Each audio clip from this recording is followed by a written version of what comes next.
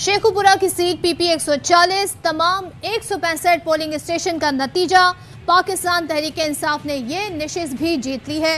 खुर्रम शहजाद पाकिस्तान तहरीक इंसाफ ने पचास हज़ार एक सौ छियासठ वोट हासिल किए और तहरीक इंसाफ के नाम हो गई है ये सीट। नून लीग के मियाँ खालिद ने बत्तीस हज़ार एक सौ पाँच वोट हासिल किए।